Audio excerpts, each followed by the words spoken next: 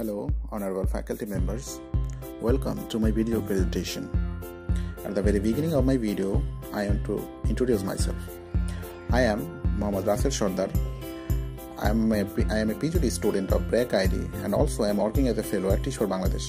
Today, I am very much grateful to all of my faculty members who have given me the space to represent something.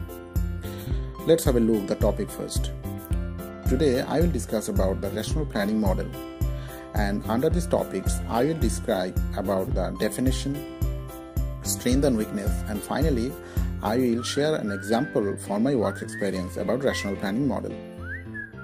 In the definition we find that it's a it's a planning process which invites a number of rational action or steps. Also we find that it's a very centralized process and largely practiced in the government administration.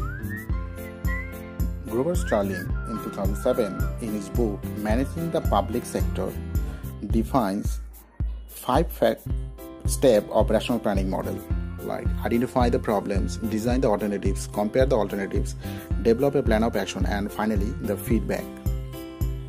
According to Starling, there are also some strength and weakness of this rational planning model. Let's the strength first. It is mainly goal oriented, works on priority basis, highlights on the feedback in the planning process. Also, uh, prepares the organization environment for facing the upcoming threats and challenges. Now, the weakness. It is a very centralized process and no scope for the subordinate to change the plan. It seems to be error in the uh, if the subordinate subordinate change the plan ego of the top level planners affects the whole activity. It is a complex process and finally it's very time consuming process. Now i am ex- share my capstone experience which was uh, about same drinking water. I was working at Chotrangamate GBS. It was one of the biggest school in this area and more than 600 students of this school and uh, like many school it has many problems. Now for identifying the problems we conduct a survey. And after getting the result of the survey we talk with the school authority.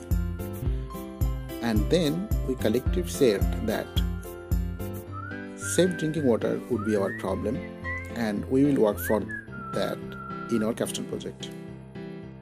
In step 2 we identify two alternative solutions.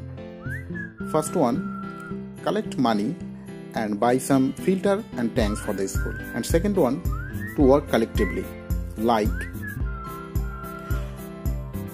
awareness rising and involve all the teachers, students, parents and the community for solving the problem. Now, step 3. In this part, we compared these two alternatives on the basis of costing and sustainability. And we come up with the solution that alternative 2 will be very feasible and sustainable for our capstone project.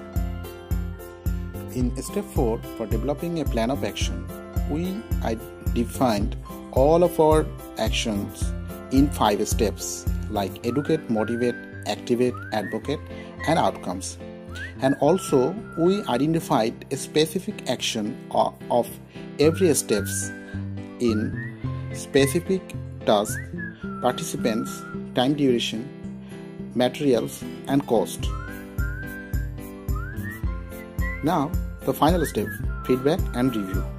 Our plan was checked and rechecked by your expert authority and this process was continued before during and after the implementation of the plan. And finally, we got some tremendous result for our school in practicing safe drinking water.